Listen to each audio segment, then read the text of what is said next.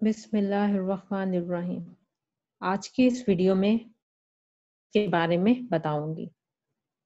Monitors, a monitor is a output device of the computer. Monitor क्या है? आपके computer की आउटपुट डिवाइस है। It can be refer to as the visual interface between the user and the computer ये क्या है? आपके computer और यूज़र के दरमियान में विजुअल इंटरफेस है।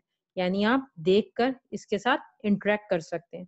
अगर आपने किसी फ़ाइल को ओपन करना है, आप उस फ़ाइल पे जाते हो, देखते हो, आप उस पर क्लिक करते हो तो आप उसे क्या कर सकते हो? ओपन कर सकते हो। तो इसके ज़रिए आप क्या कर सकते हो? देख के, अपने कंप्यूटर के साथ, अपनी स्क्रीन पे देखते हुए, अपने कंप्यूटर से इंटरेक्ट कर सकते हैं। It navigates us to what we are doing. हमें नेविगेट करता है, यानी उस तरफ़ लेके जाता है जो हम करना चाह रहे होते हैं। It displays text, graphics, images, videos. Monitor पे आप टेक्स्ट देख सकते हैं, ग्राफिक्स इमेजेस वीडियोस ये सारी चीज़ें आप मॉनिटर्स पे देख सकते हैं। मॉनिटर्स क्या होती हैं बेसिकली स्क्रीन्स होती हैं, जो कि आपको, यानी जो चीज़ आपने इनपुट किया उसके बाद डाटा प्रोसेस हुआ और उसका रिज़ल्ट जो आता है, वो आपकी आउटपुट कहलाता है। तो उस आउटपुट को देखने के लिए आपको मॉनिटर्स की स्क्रीन की ज़रूरत होती है।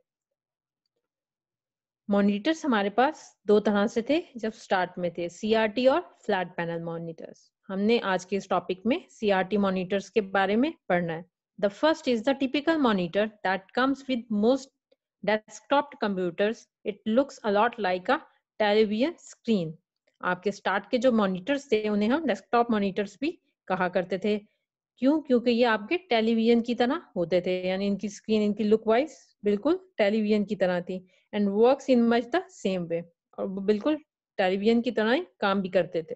This type of monitor uses a large vacuum tubes ये जो मॉनिटर्स थे, इनमें लार्ज वैक्यूम ट्यूब का इस्तेमाल किया जाता था, जिसको कैथोड रे ट्यूब भी कहते हैं। Called a cathode ray tube these are cathode ray tube monitors are commonly used for ये जो कैथोड रे मॉनिटर्स थे ये आमतौर पर पर्सनल यूज़ में इस्तेमाल किए जाते थे। यानी अगर आपने घर या ऑफ़िस में मॉनिटर्स का इस्तेमाल किया जाता है, करना होता था तो वहाँ पे आप सीआरटी मॉनिटर्स को इस्तेमाल करते थे। ये देखें, ये एक सीआरटी मॉनिटर है, जो कि दिखने में जो हमारे पुराने टीवी थे, उसके जैसा था। यानी आप इसको कहीं भी टेबल पे रख सकते हैं।